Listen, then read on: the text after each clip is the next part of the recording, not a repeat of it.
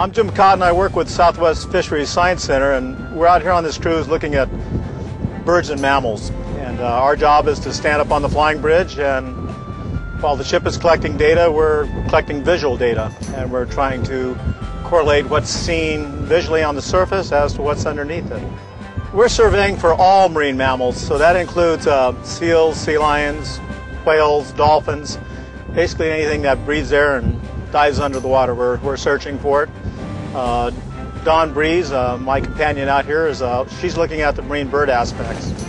We're, really typifying the ecology of the sardines that are the target species out here. We like to get an idea of the ecology of what other animals are in the same habitat and what might like to be feeding on the sardines in particular.